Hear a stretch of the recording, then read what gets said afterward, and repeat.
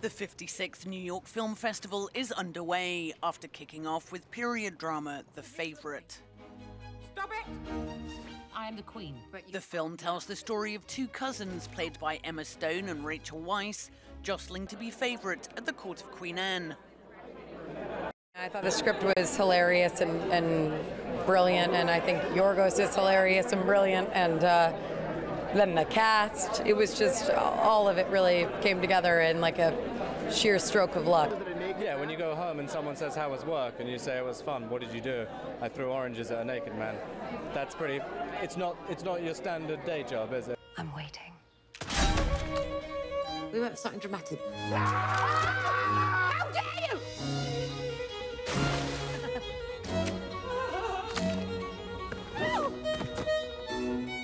Your Majesty. I'd like to enjoy the music now.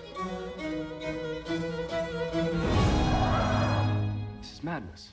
Sometimes a lady likes to have some fun.